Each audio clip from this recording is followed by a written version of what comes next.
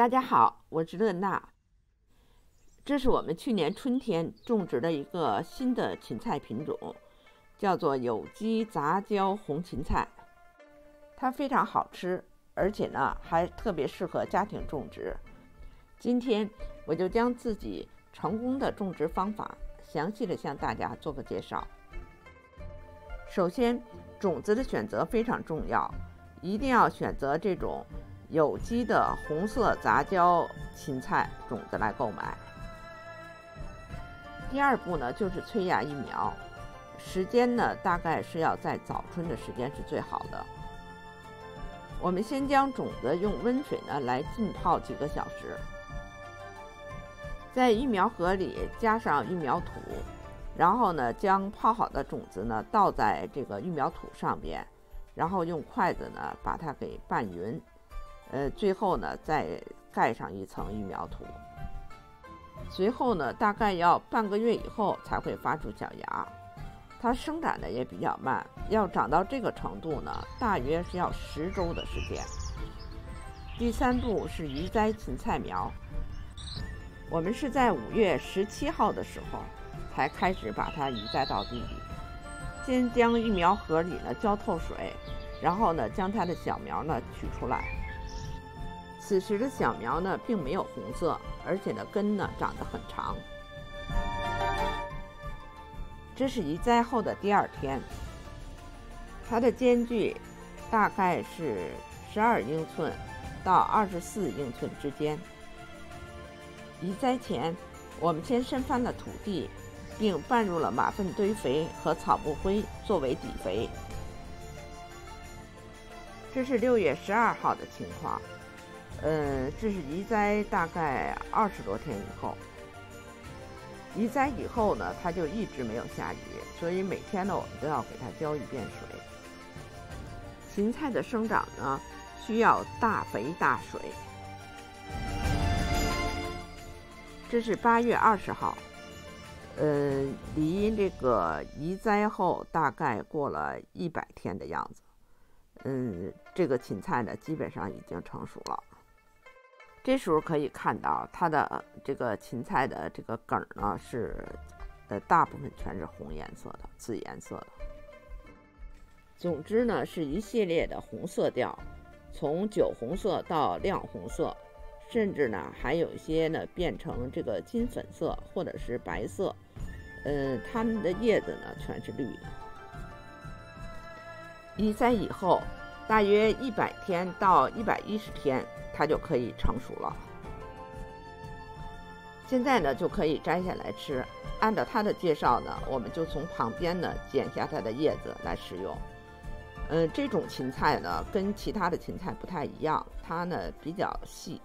它的它的叶子虽然多，但是呢，它的这个茎呢很细，不像有些芹菜呢长得是又粗又壮。它的味道呢非常浓郁。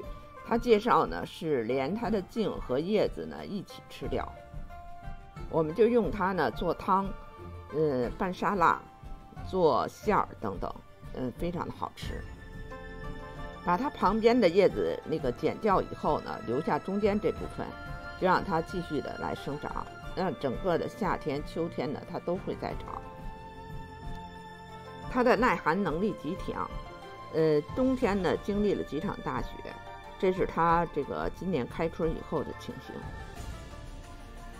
感觉二月以后它就开始呢生机勃勃，长得非常的旺盛。尽管呢天气还很冷，而且还没有过霜冻期，前几天连续下了两场这样比较大的冰雹，这些芹菜丝毫不受任何影响，越长越旺。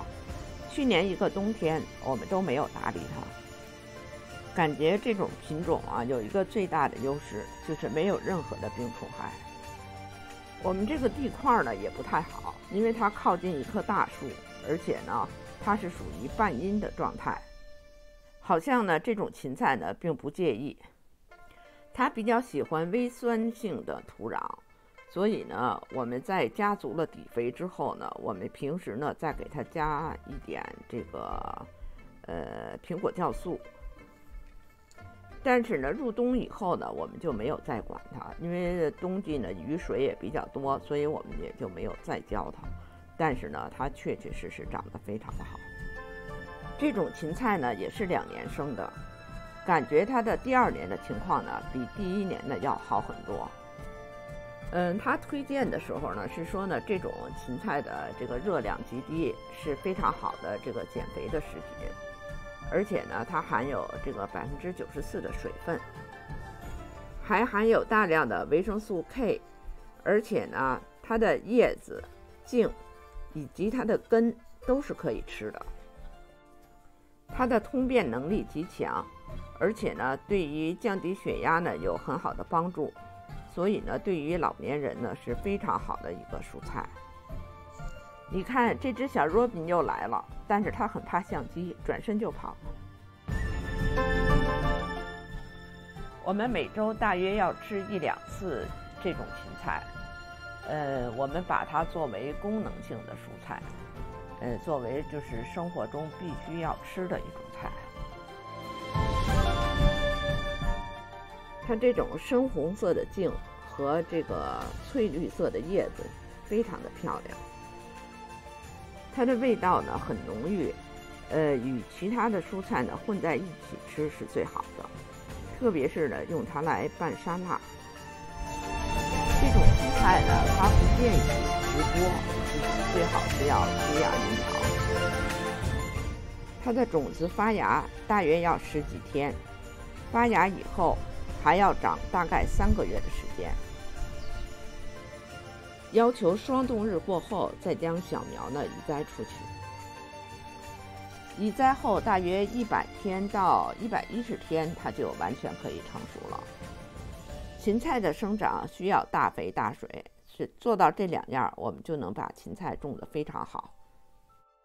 特别是在冬春季节，它可以给我们提供源源不断的蔬菜。特别是在当下，正是青黄不接的时候。地里的小苗呢，刚刚长起来。唯独这个芹菜已经是郁郁葱葱的一大片。这种芹菜呢，做馅儿呢也是非常好吃的，所以呢，它是我们这个季节的当家菜。它在整个的生长过程中呢，没有病虫害，这是我们种植新品种蔬菜里最成功的一次。它是最值得投入时间和精力来种植的蔬菜。我们准备今年呢再种植一批，隆重的向您推荐，特别是家里有老人、高血压病人、体重过重的人，嗯，这种蔬菜呢最适合您。嗯，现在正好是季节，你也试试吧。感谢您的收看，我们下次见。